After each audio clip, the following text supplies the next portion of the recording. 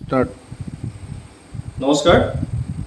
আজি মোৰ লগত আছে অভয়াপুৰ অঞ্চলৰ এজন এণ্টাৰপ্ৰিনিয়ৰ তেওঁৰ নাম হৈছে মনোজ কুমাৰ দাস। নমস্কাৰ। নমস্কাৰ। তেখেতে যোৱা পোন্ধৰ বছৰে এই অঞ্চলটোত বিভিন্ন ধৰণৰ ছাৰ্ভিচ দি পেলাই গাঁৱৰ এই অঞ্চলৰ ৰাইজসকলক তেওঁলোকৰ ডেভেলপমেণ্টৰ কাৰণে কাম কৰি আছে। তেওঁ বহুত দিন কম্পিউটাৰ এডুকেশ্যন প্ৰসাৰতাৰ ক্ষেত্ৰত কাম কৰিছিলে।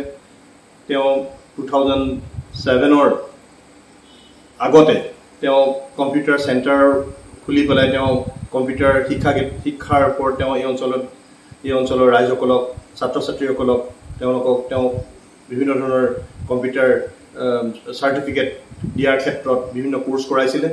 তাৰপিছত তেওঁ বেংকিং ছেক্টৰলৈ আহিলে। তেওঁ বেংকিং ছেক্টৰৰ থ্ৰুৱেদি যোৱা পোন্ধৰ বছৰে তেওঁ এই অঞ্চলটোৰ বেংকৰ বিভিন্ন ধৰণৰ সুবিধাসমূহ তেওঁলোকৰ ঘৰৰ মুখতে তেওঁলোকে দি আহিছে।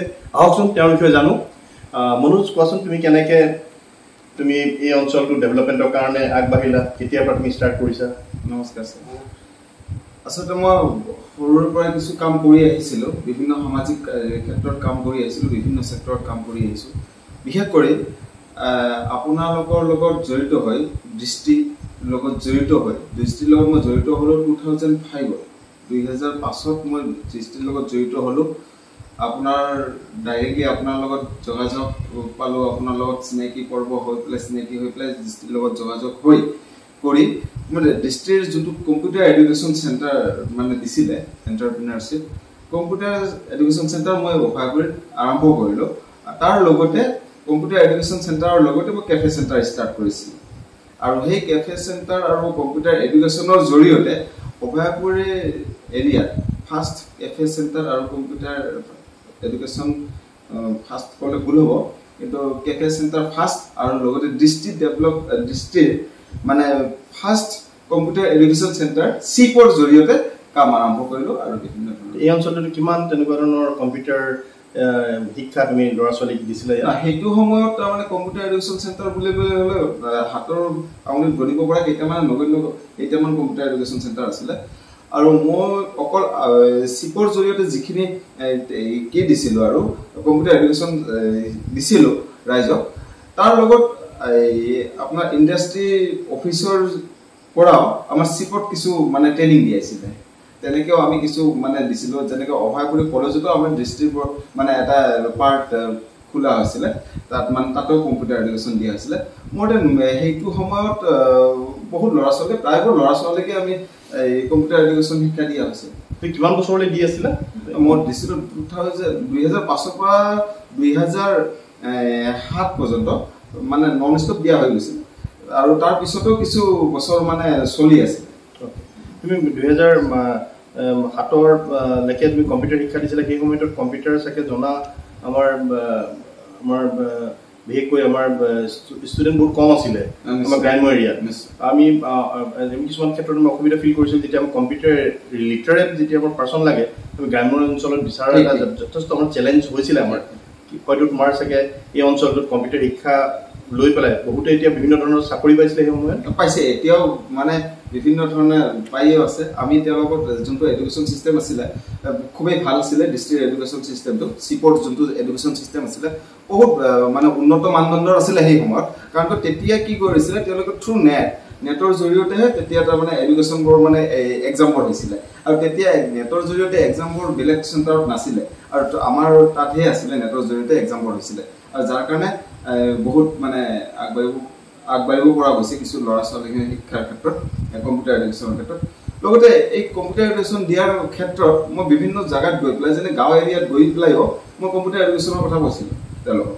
বিভিন্ন গাঁৱত ধৰি লওক পাচনীয়া মালেগড় এইপিনে খৰাগাঁও এইপিনে লেংটিচিঙা এইপিনে ইকিৰাবাৰী এনে বিভিন্ন এৰিয়াত গৈ পেলাই মই কম্পিউটাৰ এডুকেশ্যনৰ কথাও কৈছিলোঁ। তেওঁলোকক মানে কিহক দিছিলোঁ মানে কম্পিউটাৰ এডুকেশ্যন ল'ব লাগে কি কৰিব লাগে তেনেকৈ কিছু আগবাঢ়ি যোৱা আছিল আৰু বহুত ফ্ৰী কৰ্চ শিকাব শিকাব লগা হৈছিলে আৰু বা শিকাইছিলোঁ। তো ইয়াৰ পিছতে তুমি টু থাউজেণ্ড ছেভেনৰ পৰা তো বেংকিং ছেক্টৰৰ লগত তুমি জড়িত হ'লা। হয়। তো কেনেকৈ তুমি জড়িত হ'লা কি মানে কিটো ছিষ্টেমৰ থ্ৰুদি আগবাঢ়িলা অলপ কোৱাচোন? ফাৰ্ষ্ট ফাৰ্ষ্ট প্ৰথমতে প্ৰথমে মই মানে মোৰ কি ক'ম ছাৰ দাদা মোৰ সকলো প্ৰথম মাননীয় পৰাগধৰ কৰ তেখেতক মই বহুত শ্ৰদ্ধা কৰোঁ ষ্টাৰ্ট আৰম্ভণিৰ পৰা আজিও আৰু ভৱিষ্যতেও তেওঁলোক মই এই শ্ৰদ্ধা থাকিব থাকি গৈছে আৰু যোনটো মৰম ভাল পোৱা মই ষ্টাৰ্টিঙৰ পৰা পাইছিলোঁ আৰু সেই মৰম ভাল পোৱা আজিও অটুট আছে। তেওঁ লগত মোৰ যোগাযোগ হৈছিলে টু থাউজেণ্ড ফাইভতে টু থাউজেণ্ড দুহেজাৰ পাঁচতে যোগাযোগ কৰি পেলাই তেওঁ মোক জনালে ফাৰ্ষ্ট থিঙত নিজেই ডাইৰেক্টলি জনালে যে এনেকুৱা এনেকুৱা ছাৰ্ভিচ আহিছে তুমি কৰা। আৰু সেই ক্ষেত্ৰত মই আজি কৰিম কালি কৰিম কৰোঁতে কৰোঁতে মোৰ কিছুদিন পলম হৈছিলে। পলম হৈ পেলাই মই তথাপিতো গ'লোঁ। গৈ পেলাই তেওঁ মোক মানে নিজে হাতত ধৰি পেলাই এইটো কাম দিলে। আৰু দিয়াৰ পিছত ফাৰ্ষ্ট বি চি হিচাপে কাম দিলে। আৰু যথেষ্ট সেই ফাৰ্ষ্ট মানে যথেষ্ট সহায়ৰ হাত আগবঢ়ালে মোক। আৰু বি চি হিচাপে কাম মই তেতিয়াৰ পৰা তেওঁৰ মানে আগ্ৰহত তেওঁৰ মানে উৎসাহত মই উৎসাহিত হৈ পেলাই মই কাম আৰম্ভ কৰিছিলোঁ। তুমি যেতিয়া তুমি চি এছ পি লৈছিলা। সেই চি এছ পি লওঁতে ষ্টেট বেংক অফ ইণ্ডিয়াৰ আণ্ডাৰত তুমি কাষ্টমাৰ ছাৰ্ভিচ পইণ্ট আমাৰ দৃষ্টিৰ ফালৰ পৰা তোমাক দিয়া হৈছিলে। কিন্তু এতিয়া কেনেকুৱা ধৰণৰ প্ৰথম অসুবিধা ফিল কৰিছিলে? তুমি কোৱাচোন কি কি প্ৰব্লেমটো এইটো টাইমত আছিলে?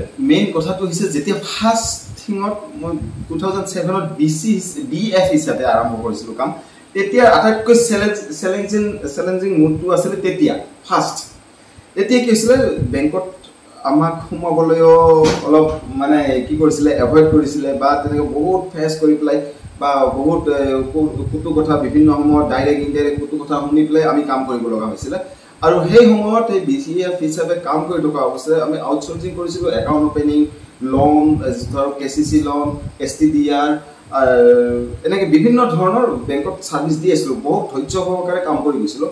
শেষ মুহূৰ্তত মই এদিন এই কিয় কৈছিলোঁ বেংকত হ'ব আমাৰো দিন খুলি আছে যে মই এদিনত এটা বেংক খুলিম। এনেকৈ কৈছিলোঁ। তেতিয়া মই নাম নকওঁ। ব্যক্তিজনৰ মোৰ ব্যক্তিজনৰ মই ভালদৰে মনত ৰাখিছিলোঁ আৰু তেতিয়া মোক সেই বেংকত হাঁহিছিলে। ন এতিয়া সেই সময়ত আছিলে যথেষ্ট অসুবিধা আছিলে। যেনেকে বেংকসকলে জনা নাছিলে যে বি চি কি হয় বি চিয়ে কি ধৰণে তেওঁলোকক সহায় কৰিব পাৰে। বা গ্ৰাম্য অঞ্চলৰ আমাৰ যিসকল ৰাইজ আছিলে তেওঁলোকক কেনেকে বেংকমুখী কৰিব পাৰে সেই বস্তুটোৰ ওপৰত অৱগত নাছিলে। তেতিয়া তাৰপিছত আস্তে আস্তে তেওঁলোকে চেঞ্জ হ'ল। কিন্তু সেই টু থাউজেণ্ড ছেভেনৰ পৰা টু থাউজেণ্ড নাইনলৈকে বহুত চাগে এই অঞ্চলটোত একাউণ্ট খোলা হৈছিলে। মানে চৰ্চিং তেওঁলোকক নৰ্মেল একাউণ্ট খুলি দিয়া হৈছিলে বেংকত আনি পেলাই। তাৰ লগতে ৰেকাৰিং ডিপজিটো কৰা হৈছিলে। আৰু গ্ৰাম্য অঞ্চলৰ যিসকল হাই এণ্ড ফাৰ্মাৰ আছিলে তেওঁলোকক চাগে ফিক্স ডিপজিট ৰিলেটেড পাৰ্ট কৰি দিয়া হৈছিলে। তাৰ লগত কে চি চি লোনো দিয়া হৈছিলে। আনকি ৰিকভাৰীৰ কামো কৰা হৈছিলে। সেই টু থাউজেণ্ড ছেভেনৰ পৰা টু থাউজেণ্ডলৈকে যথেষ্ট এটা এক্সপেৰিয়েঞ্চ হৈ গৈছিলে। কিন্তু ইন টাইম ইন টাইম দৃষ্টিয়ে যেতিয়া অনলাইন ট্ৰেঞ্জেকশ্যনৰ যেতিয়া ছিষ্টেম টেকনলজি যেতিয়া এডপ্ট মানে ষ্টাৰ্ট কৰিলে তাৰপিছৰ পৰা চি এছ পিসকলে নিজৰ চেণ্টাৰতে তেওঁলোকে বায়'মেট্ৰিক ডিভাইচৰ থ্ৰুৱেদি আমাৰ কাষ্টমাৰসকলৰ সেই অঞ্চলৰ একাউণ্ট খুলিব পৰা হৈছিলে। তাত তেওঁলোকে কেনেকে ধৰণে ষ্টাৰ্ট কৰিছে অলপ কোৱাচোন? তেতিয়া যেতিয়া মানে চি এছ পি আমাৰ যেতিয়া বি চি কাম C S P B C কাম C S P two thousand নাইনত হ'লে। টু থাউজেণ্ড নাইনত যেতিয়া এইটো কনভাৰ্ট হৈ পেলাই বি এফৰ পৰা কনভাৰ্ট হৈ পেলাই চি এছ বি চি কাম চি এছ পি হ'লে তেতিয়া কি হ'ল তাত ফাৰ্ষ্টিং এটা লোকেশ্যন লোৱা হ'ল। সেইটো লোকেশ্যনত আমি এটা পাৰ্মানেণ্টলি চি এছ পি অৰ্থাৎ কাষ্টমাৰ ছাৰ্ভিচ পইণ্ট আৰু কাষ্টমাৰ এটা কম্পিউটাৰ দিয়া হৈছিলে তাত কম্পিউটাৰৰ লগত আমাৰ বায়'মেট্ৰিক ডিভাইচ এটা দিয়া হৈছিলে। তাত বেলেগ ডিভাইচ একো নাছিলে।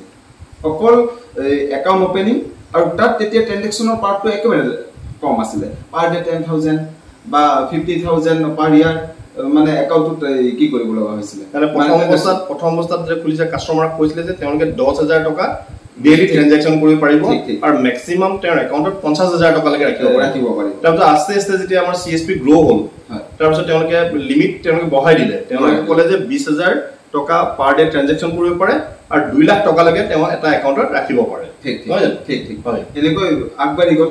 প্ৰথম অৱস্থাত যেতিয়া কি হৈ গ'লে মানে আছিলে তেতিয়া আমাৰ কি হৈছিলে তেতিয়া আমাৰ নেটৰ কানেক্টিভিটি খুব পৰ আছিলে। আৰু তথাপিতো আমি কি কৰিছিলোঁ নেটৰ কানেক্টিভিটি পৰ আছিলে যদিও তেতিয়া আমাৰ এই ডাটা কেবলত কৰিব লগা হৈছিলে বা আমাৰ এইটো অভয় কৰি কৰা হৈছিলে যদিও এইটো ব্ৰডবেণ্ড আছিলে যদিও সিমান মানে খাচ নাছিলে আৰু। আৰু তাৰোপৰি বিভিন্ন এৰিয়াত গৈ পেলাই মানুহক এই বস্তুটো বুজোৱাৰ বাবে বিভিন্ন জেগাত যেনেকৈ ধৰক কোৰিয়াতো গৈছিলোঁ মই ইয়াৰ পৰা মোটামুটি আপোনাৰ পঁচিছ ত্ৰিছ কিলোমিটাৰ ডিষ্টেঞ্চত কোৰিয়াত গৈ পেলাই তাতে চেণ্টাৰ বনাইছিলোঁ। বা পাৰ মানে সপ্তাহত এটা দিন যাম কোৰিয়াত। কৰিয়াত কৰিছিলোঁ যোগী কপাত তেনেকুৱা ধৰণৰ এটা পাৰ প্ৰতিটো সপ্তাহত মই বেলেগ বেলেগ এটা দিনত বেলেগ বেলেগ এৰিয়া গৈ পেলাই বহিছিলোঁ। মানে সেইটো মানে গৈ পেলাই মাষ্টাৰ চেণ্টাৰটো বাদ দি মাষ্টাৰ এৰিয়াটো বাদ দি পেলাই মাষ্টাৰ এৰিয়াটো বাদ দি পেলাই চাব এৰিয়াটো মানে পাৰ এই এটা ডিমাণ্ড আহিছিলে বেংকৰ বেংকৰ ফালৰ পৰা ডিমাণ্ড আহিছিলে চবকে কোৱা হৈছিলে চি এছ পি সকলক তেওঁলোকে এটা ৰেডিয়াছৰ ভিতৰত যিমানখিনি পাৰে গৈ পেলাই মা- এই ৰাইজক মানে তেওঁলোকে একাউণ্ট খোলাৰ ক্ষেত্ৰত জোৰ দিব লাগে বুলি হয়, হয়। সেই হিচাপে চি এছ পি সকলে বিভিন্ন জেগাত গৈ পেলাই তেওঁলোকে একাউণ্ট খোলাত। তেওঁলোকে সহায় কৰিছিলে N T R N T R sub ডিভিশ্যনত মই গৈ পেলাই এন টি আৰ চাব ডিভিশ্যনত যিমান গাঁও আছে মেক্সিমাম গাঁৱত গৈ পেলাই মই একাউণ্ট খুলিছিলোঁ. মেক্সিমাম যাৰ কাৰণে প্ৰতিখন গাঁৱৰ লগত এটা সু সম্পৰ্ক মানে খুব ভালদৰে গঢ়ি উঠিলে মোৰ তেনেকেই আগুৱাই তেতিয়াৰ পৰা বৰ্তমানলৈকে তুমি সোতৰ হাজাৰ একাউণ্ট খুলিছা। সোতৰ হাজাৰ একাউণ্টৰ তাৰে টুৱেল্ভ থাউজেণ্ড প্লাছ তোমাৰ এক্টিভ একাউণ্ট হয় বৰ্তমান হয়, নহয় জানো।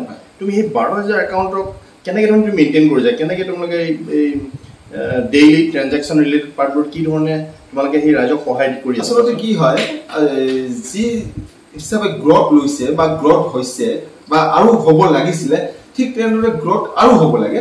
কাৰণ কিয় আজি ইয়াতে অভয় কৰি এইটো এটা চি এছ পি হিচাপে কাম কৰি পেলাই ইয়াতে চি এছ পি বা কিয়ক্স বেংকিং হিচাপে কাম কৰি পেলাই এটা দুটা মাল্টিপুল টাৰ্মিনেলত কাম কৰা হৈ আছে। কিন্তু মাল্টিপুল টাৰ্মিনেল দুটা টাৰ্মিনেলত মানে চাফিচিয়েণ্ট নহয়। দিন ৰাতি ৰাতিপুৱা আঠ বজাৰ পৰা কাম কৰি পেলাই ৰাতি আঠ বজাতো মানে শেষ নহয় কাম। তথাপিতো আমি যিমান পাৰোঁ ৰাইজক সকাহ দি আছো ৰাইজক মানে আমি সুবিধাবোৰ আগবাঢ়ি আছো। তাৰোপৰি ইয়াতে আছে POS machine swipe machine swipe মেচিনৰ জৰিয়তে কিছু উইড্ৰেল আহে বা ডিপজিট আহে। এতিয়া একাউণ্ট অপেনিং কৰিব লাগে এইপিনে ডিপজিট কৰিব লাগে এইপিনে পাছবুক আপ টু ডেট কৰিব লাগে। এনেকৈ বিভিন্ন ধৰণৰ কাম আছে কাম কৰিব লগা হয়। যাৰ কাৰণে দুটা মেচিনতো মানে এতিয়া মানে চাফিচিয়েণ্ট নহয় আৰু পাৰিলে আৰু তাৰ মানে মেচিন গ্ৰথ কৰিব লাগে। এনেকুৱা এটা চিষ্টেম আছে। এতিয়া বৰ্তমান পাঁচটা টাৰ্মিনেল দিব পাৰে। ছিংগল এটা উইণ্ডোৰ লগত লিংক কৰাই পেলাই। হয়তো কামিং ডেজত চি এছ টি সকলে পাঁচটা টাৰ্মিনেল তেওঁলোকে কৰিব পাৰিব। ইয়াৰ উপৰিও তোমাৰ কোৱাচোন এনেকুৱা ধৰণৰ ইনচিডেণ্ট হৈছিল নেকি? যিটো ইনচিডেণ্ট সঁচাকৈ কেতিয়াবা মানে এতিয়া ভাবিলে মানে সেই সেইটো টাইমৰ কথা কৈছোঁ যেতিয়া ষ্টাৰ্ট কৰিছিলা। ৰাইজৰ মাজত মানে এনেকুৱা ধৰণৰ ইনচিডেণ্ট কিছুমান আছিলে নেকি যিটো এতিয়া ভাবিলে বৰ আচৰিত যেন লাগে? হয় তেনেকুৱা ধৰণৰ হৈছিলে। কিছু সংখ্যক ৰাইজে মানে মোৰ যিখিনি গাঁৱত ঘূৰি পেলাই গাঁৱৰ লগত সংস্পৰ্শ যেতিয়া হৈছিলে মই সিমান মানে প্ৰব্লেমত ফেচ কৰিব লগা হোৱা নাই যদিও বিশেষ বিশেষ কিছু ব্যক্তি থাকে প্ৰতিটো সমাজত থাকেই বিশেষ বিশেষ কিছুমান ব্যক্তি থাকে আৰু সেই ব্যক্তিসকলে কিয় বিভিন্ন ধৰণৰ কোৱেশ্যন এৰাইজ কৰে। আৰু ঠিক তেনেদৰে কিমান দিন থাকিব কিমান দিন যাব কি হ'ব এইটো প্ৰাইভেট নেকি বা ষ্টেট বেংকৰ হয় নে নহয় এনেকুৱা ধৰণৰ বিভিন্ন ধৰণৰ কোৱেশ্যন আহি পৰে। যেতিয়া এই বস্তুবিলাক আপগ্ৰেশ্যন হৈ গ'ল বিভিন্ন ধৰণৰ সুবিধাবোৰ পোৱা হ'ল সেই কিছু সংখ্যক ব্যক্তি আৰু তাৰমানে কি হৈ গ'ল মানে কামবোৰ কৰি পেলাই ভাল পোৱা হ'ল। ৰাইজে আঁকোৱালি ল'লে। আৰু চব কাম যিহেতু আপ টু ডেটৰ পৰা আৰম্ভ কৰি গোটেইখিনি হয় বেংকিং চাৰ্ভিছখিনি না এইটোৱে ষ্টেট বেংকৰ ষ্টেট বেংকে এই ক্ষেত্ৰত যথেষ্ট মানে তেওঁলোকে আগভাগ লৈছিলে। তেওঁলোকে গম পাইছিলে যে চি এছ পি সকলে এই প্ৰব্লেমটো তেওঁলোকে ফেচ কৰিব। সেইকাৰণে এৱেৰনেছ ৰিলেটেড তেওঁলোকৰ চি এছ পিৰ লগত লগ লাগি বি চিৰ লগত লগ লাগি তেওঁলোকে বিভিন্ন জেগাই জেগাই কৰিছিলে। তেওঁলোকৰ বেংকৰ বিষয়াসকল বিশেষকৈ D G M A G M chief manager বেংকৰ মেনেজাৰ গাঁও তেওঁলোকে বিভিন্ন গাঁৱত গ্ৰাম্য অঞ্চলত গৈ পেলাই সেই মিটিংবোৰত তেওঁলোকক কনফিডেণ্ট দিবৰ কাৰণে চি এছ পিক ইণ্ট্ৰডিউচ কৰাই দিছিলে যাতে তেওঁলোকে এক্সটেণ্ডেড হেণ্ড হয় বেংকৰ তাৰ ধৰি যে তেওঁলোকে ইয়াত কাম কৰিলে তেওঁলোকে ষ্টেট বেংকত যি কাম হয় ইয়াতো ছেইম কাম কৰিব পৰাৰ এটা বিশ্বাস তেওঁক দিছিলে যে বিশ্বাস জগাব পাৰিছিলে। আৰু দৃষ্টিও যে বি চি বিভিন্ন গ্ৰাম্য এৰিয়াত গৈ পেলাই এই এৱেৰনেছ লেভেলটো কৰি এটা কনফিডেণ্ট লেভেল তেওঁলোকে দিছিলে।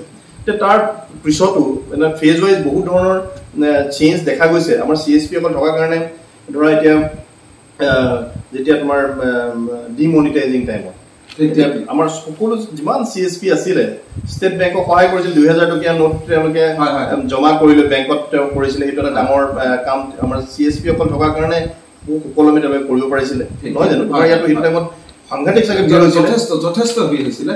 আমি যিমান দূৰ পাৰিছো যিমান দূৰ পাৰিছো বেংকৰ আমাক যথেষ্ট সহায় কৰিছে সেই সময়ত।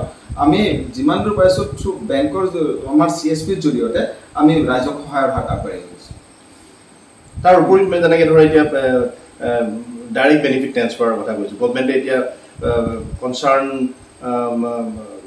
ক্লাইণ্টক ডাইৰেক্টলি পইচা তেওঁলোকৰ একাউণ্টত ভৰাই দিয়ে।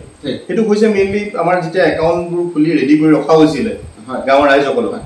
এতিয়া বিভিন্ন ধৰণৰ স্কিমৰ এগেইনষ্টে গভমেণ্টৰ যি পইচা আমাৰ আমাৰ ৰাইজসকলক দিব লাগে। ডাইৰেক্টলি দিয়ে। আগত। সেইটো পোৱাত এটা যথেষ্ট চেলেঞ্জ আছিলে। ঠিক- ঠিক আৰু সেইটো মেইনলি চাগে তোমাৰ এই অঞ্চলটোত তোমাৰ তুমি। যিখিনি কৰিছা তোমাৰ ৰাইজে যিখিনি একাউণ্ট খুলিছে তাৰ পৰা তেওঁলোকে যথেষ্ট উপকৃত হৈছে। নিশ্চয় নিশ্চয়। উপকৃত হৈছে। লগতে তাত কি হৈছে আমাৰ যোনবিলাক মানে ইয়াতে আমাৰ গভৰ্ণমেণ্টেলি মানে চৰকাৰীভাৱে যোনবোৰ সুবিধা আছে যে ধৰি লওক P M S B Y P M J J D Y A P Y ধৰক এনেকুৱা যিবোৰ মানে সুবিধা দিছে কমপ্লিট সুবিধাবোৰ আমাৰ ইয়াতে আমি ৰাইজক নিষ্ঠা সহকাৰে কৰি গৈছোঁ দিছোঁ। যেনে ধৰক মাজতে কি দিছিলে এনেকে একটকীয়া ইঞ্চুৰেঞ্চ একটকীয়া মানে খেতিয়কবিলাকৰ সেইবিলাক ইঞ্চুৰেঞ্চ ইঞ্চুৰেঞ্চৰ ইয়াতেই হৈছিলে মানে মেইনলি বহুত ধৰণৰ এনেকুৱা ধৰণৰ গভমেণ্ট স্কিম যেতিয়া আহে তোমা- তোমালোকে সেই অঞ্চলৰ ৰাইজসকলক এৱেৰনেছ কৰোৱা তেওঁলোকক এইখিনি কৰিবৰ কাৰণে প্ৰেৰিত কৰা যাতে তেওঁলোকে তেওঁলোক গভমেণ্টৰ সুবিধাখিনি ল'ব লাগে। নহয় জানো। তাৰ উপৰি তোমালোকে যেনেকে ষ্টুডেণ্টসকলৰ যে আমাৰ স্কলাৰশ্বিপৰ কাৰণে দিয়াৰ সেই ষ্টুডেণ্টসকলৰ একাউণ্টবোৰ তোমালোকে ইয়াত খুলিছে চাগে ইয়াত ইয়াতে? যথেষ্ট একাউণ্ট হয় পাৰ ডে ইয়াতে এভাৰেজ এভাৰেজ ক'বলৈ গ'লে দহৰ পৰা বিশ একাউণ্ট পাৰ ক্লাছ ফাইভৰ ওপৰৰ পৰা দিয়া নহয় জানো একাউণ্ট দহ বছৰ দহ বছৰৰ বছৰ, একাউণ্টত দিয়া যি স্কলাৰশ্বিপৰ একাউণ্ট তেওঁলোকে পইচা পায়। সেইখিনি তেওঁলোকৰ একাউণ্টলৈ ডাইৰেক্টলি. কিন্তু ইয়াতে মাজতে এটা প্ৰব্লেম হৈছিলে কি তেওঁলোকৰ তাৰমানে আধাৰ আৰু পেন দুটাই লাগে। আধাৰ আৰু পেন কোনো অপশ্যন বোলা বস্তু নাছিলে মাজতে যাৰ কাৰণে একাউণ্ট খোলাত বহুত প্ৰব্লেম হৈছিলে। এতিয়া কিন্তু ৰিচেণ্টলি মানে সেইটো ডেট অফ বাৰ্থ চাৰ্টিফিকেটটোৰ জৰিয়তে গাৰ্জেনৰ ডকুমেণ্টৰ জৰিয়তে গাৰ্জেনৰ ডকুমেণ্ট তেওঁৰ document date of birth certificate বা আধাৰ কাৰ্ড বা যিকোনো এটা কি হ'লে পেন কাৰ্ড নহ'লেও হৈ যায়। তো ইয়াত মানে বিশেষকৈ এতিয়া যে ব্যৱ- ব্যৱসায়ৰ কথা যদি কোৱা যায় কাৰণ যিহেতু চি এছ পি খোলা হৈছে ছাৰ্ভিচ দিয়াৰ ওপৰত নিজৰ ব্যৱসায়ৰ ওপৰতো ডিপেণ্ড কৰে। ইয়াত এতিয়া তুমি অলমষ্ট চাৰে বাৰ হাজাৰ ওপৰৰ পৰা একাউণ্ট খুলিছা। আৰু চবৰে একাউণ্টত মানে বেলেঞ্চ মেইনটেনেঞ্চ যিটো কয় বেংকে যিটো কৈছে যে চবৰ একাউণ্টত এটা লেভেলৰ পইচা থাকিব লাগে যাৰ থ্ৰুদি ইনচেণ্টিভ আমাৰ চি এছ পি সকলে পায়। তোমাৰ তুমি সেই অঞ্চল এই অঞ্চলটো সেইটো তুমি মেইনটেইন কৰিছা নিশ্চয়, তুমি। কেনেকে মটিভেট কৰিছা সেই আমাৰ ৰাইজসকলক? একচুৱেলি কি হয় মটিভেট মানে কি যিকোনো এটা একাউণ্ট বা যিকোনো এটা মোৰ মই বাই ফৰ্চলি মই একাউণ্ট খুলিব যোৱা নাই। একাউণ্টটো নিট প্ৰতিটো ব্যক্তিৰ প্ৰতিটো ব্যক্তিৰ প্ৰতিটো যেনেকৈ মানে পৰিয়াল এটা দহজন ধৰি লওক দহজন ফেমিলি আছে আৰু প্ৰতিটো ফেমিলিয়ে ৰাতিৰ সাঁজটো খাবই লাগিব। এটা নিট পেটৰ ভোগ আছে। ঠিক তেনেদৰে আপোনাৰ মানে একাউণ্টটো খোলাটো প্ৰতিটো ব্যক্তিৰ বাবে এটা নিট তাৰ কাৰণে এটা প্ৰয়োজনীয় বস্তু বুলি ধৰক জীৱনৰ এটা অংগ হিচাপে পাৰ্ট হিচাপে ল'ব লাগে। কাৰণ কিয়? জীৱন জীৱনটো যেতিয়া লোৱা হৈছে তাত সমস্যা আৰু সমস্যা আহিবই। আৰু সেই সমস্যাৰ সমাধান আহিব। আছে। আৰু সেই সমস্যাৰ সমাধানৰ বাবে কি হয় আমি যদি ন্যূনতম পইচা এটকা কৰি যদি আমি ঘৰত থওঁ আৰু সেইটো টকা এট- এটকা কৰি ঘৰত থলে কিবা টেকেলি এটা থলে কিবা এটা সাধাৰণ সমস্যাতে টেকেলিটো ভাঙা খায় মানে পইচাটো ওলাই লৈ যায়। কিন্তু যদি একাউণ্টটো থাকে একাউণ্টটো ডেইলি এক টকা আমি এক টকাও জমা ৰাখিম। আমি এক টকা পাৰ ডে যদি কোনোবা ব্যক্তিয়ে কোনোবা এজন ব্যক্তিয়ে যদি আমাৰ ইয়াতে চি এছ পিত যদি এক টকা পাৰ ডে জমা কৰিব আহে আমি এক টকাও জমা ৰাখিম। আমি এক টকাও জমা কাৰণ কিয়? সেই এক টকাৰ জৰিয়তে মাহত ত্ৰিছ টকা। ত্ৰিছ দিন জমা কৰা মানে ত্ৰিছ টকা সেই একাউণ্টৰ জৰিয়তে ত্ৰিছ টকা জমা হয় আৰু সেই ত্ৰিছ টকা বছৰত হৈ আছে মানে নশ টকা। তাৰমানে এতিয়া মানে মেইন কথাটো হৈছে এইটো মেইন কণ্ডিশ্যনটো হৈছে আমাৰ ইয়াৰ থ্ৰুদি ৰাইজসকলে মানে ক্ষুদ্ৰ সঞ্চয়ৰ ওপৰতো তেওঁলোকৰ। বাঢ়িছে তেওঁলোকৰ। ইয়াৰ। থ্ৰুদি মানে বেলেঞ্চ মেইনটেনেঞ্চৰ মানে যিটো মানে মেইনটেইন হৈ থাকিব লাগে সেইটো কৰা হৈছে সেইটোৱে ক'ব বিচাৰিছোঁ। ইয়াৰ উপৰি মই আৰু এটা ক'ব বিচাৰোঁ যে বৰ্তমান যে আমি টু থাউজেণ্ড টেনত যেতিয়া কিয়ক্স বেংকিং ষ্টাৰ্ট কৰিছিলা তাৰ লগতে বৰ্তমান বহুত ডিফাৰেঞ্চ আহি গৈছে। নিশ্চয় এতিয়া বেংকে বিভিন্ন ধৰণৰ সুবিধা দিছে। যেনেকে এজন চি এছ পিৰ ঠাইত পাঁচজনে এটা টাৰ্মিনেলৰ থ্ৰুদি দিয়ে তেওঁলোকে পাঁচজনে কাম কৰি থাকিব পাৰে পেৰেলেলি এতিয়া তোমাৰ ইয়াত ডেইলি দুশৰ ওপৰৰ কাষ্টমাৰ আহে ট্ৰেনজেকশ্যন ঠিক, কৰিবৰ। কাৰণে। আৰু তোমাৰ transaction daily at present at at মানে তোমাৰ প্ৰেজেণ্ট কণ্ডিশ্যনত তোমাৰ এইটটি থাউজেণ্ডৰ পৰা ওৱান কৰোৰৰ ভিতৰত তোমাৰ ট্ৰেনজেকশ্যন ডেইলি হয়। মানে মান্থলি তোমাৰ হয় তোমাৰ ট্ৰেনজেকশ্যন তোমাৰ। এইটো ডেইলি হয়। মান্থলি হয় Eighty কিন্তু lakhs. তোমাৰ এইটিন টু ওৱান কৰোৰ ভিতৰত মাজত থাকে তোমাৰ তাৰ এগেইনষ্টত তুমি তোমাৰ আহ, আহ, তোমাৰ মান্থলি ইনচেণ্টিভো তোমাৰ ফিফটি থাউজেণ্ডৰ ওপৰত তুমি হয়। পোৱা তুমি বৰ্তমান হয়। তুমি কেনেকুৱা ফিল কৰিছা এজ এ এণ্টাৰপ্ৰিনিয়ৰ তুমি ছাৰ্ভিচ দি লৈ পেলাই তুমি নিজৰ আহ, নিজে তুমি ছাষ্টেইনেবল হৈছা তুমি ঘৰৰ ফেমিলিক ছাপৰ্ট কৰিছা তুমি নিজৰ ব্ৰাদাৰ ব্ৰাদাৰক তুমি ছাপৰ্ট কৰিব পাৰিছা তোমাৰ ফিলিং কেনেকুৱা হৈছে কোৱাচোন একচুৱেলি খুবেই ভাল ফিলিং কাৰণ কিয় সামাজিক এই সমাজৰ লগত জড়িত হৈ যিবোৰ কাম কৰিব পৰা যায় আৰু নিষ্ঠা সহকাৰে কাম কৰিলে প্ৰতিজন ব্যক্তিয়ে এদিন নহয় এদিন স্বাৱলম্বী হ'বই। নিষ্ঠা সহকাৰে সমাজৰ লগত কাম কৰি যাব লাগিব। সমাজৰ উন্নতিৰ হকে কাম কৰি গ'লে প্ৰতিজন ব্যক্তিয়ে স্বাৱলম্বী হ'ব আৰু ইয়াৰ জৰিয়তে এনেকুৱা ধৰণৰ এণ্টাৰপ্ৰিনৰশ্বিপৰ জৰিয়তে বহু নিবনুৱা কিছু যি দুজন চাৰিজন পাঁচজন যি নিবনুৱা হওক সেই নিবনুৱা কিছু সংস্থাপনৰ এটা আহিলা এটা স্থান। গতিকে যদি নিষ্ঠা সহকাৰে কাম কৰা যায় দুই চাৰিজনৰ নিবনুৱাও তাত আঁতৰি যায় সংস্থাপন পায় আৰু নিজেও স্বাৱলম্বীৰ কাৰণে এটা ভাল ৰাস্তা মুকলি হৈ যায়। তো ইয়াত এতিয়া বৰ্তমান দেখা গৈছে চি এছ পি সকলক মাইক্ৰ' এ টি এম দিয়া গৈছে যিসকলৰ ৰুপে কাৰ্ড আছে তাৰ থ্ৰুৱেদি এনি কাষ্টমাৰে আহি পইচা উইড্ৰ কৰিব পাৰে। তাৰ উপৰি তেওঁলোকক এতিয়া প্ৰিণ্টাৰ দিয়া হৈছে। আগত বেংকত গৈ লাইন লাগিব লাগে পাছবুক আপডেট কৰিবৰ কাৰণে। এতিয়া চি এছ পি চেণ্টাৰতে গৈ পাছবুক আপডেট কৰিব পাৰে। ট্ৰেনজেকশ্যনৰ এগেইনষ্টে তেওঁলোকৰ একাউণ্টত পইচা প্ৰপাৰলি আছে নে নাই তাতে ইমিডিয়েটলি চেক কৰিব পাৰে। আৰু ডাঙৰ এটা সুবিধা ৰাইজসকলে পাইছে। আৰু অনাগত দিনত চি এছ পি সকলক আৰু আপগ্ৰেডেড বেংকে আপগ্ৰেড কৰি আছে তেওঁলোকক স্কিল ডেভেলপ কৰিবৰ কাৰণে ট্ৰাই কৰি ৰখা হৈছে। কাৰণ যিহেতু বিভিন্ন ধৰণৰ লোন ৰিলেটেড পাৰ্টৰ পৰা আদি কৰি তেওঁলোকে চিন্তা কৰিছে যাতে ৰাইজসকলক দিব পাৰে। এইটো খুব ভাল প্ৰচেষ্টা। মনোজ এয়াই আমাৰ আছিলে মনোজ দাস অভয়াপুৰীত তেওঁ গাঁৱৰ ৰাইজসকলক বিভিন্ন ধৰণৰ ছাৰ্ভিচ মষ্টলি বেংকিং ছাৰ্ভিচৰ থ্ৰুদি তেওঁ এটা জাগৰণ আনিব ট্ৰাই কৰিছে তেওঁ। ৰাইজসকলক ক্ষুদ্ৰ সঞ্চয়ৰ বিষয়ে অৱগত কৰিছে। তেওঁৰ লগতে বিভিন্ন ধৰণৰ গভমেণ্ট বেনিফিট স্কিম তেওঁ ৰাইজক দিছে। মই ভাবোঁ ইয়াৰ থ্ৰুৱেদি মনোজ আছে অনাগত দিনত তেওঁলোকে আৰু সুবিধা দি থাকিব তেওঁ আৰু তেওঁৰ ইয়াৰ থ্ৰুৱেদি যাতে আৰু এই চি এছ পিৰ থ্ৰুৱেদি তেওঁলোকে আৰু এই অঞ্চলৰ উন্নতি কৰিব পাৰে তাৰে কামনাৰে ধন্যবাদ উম।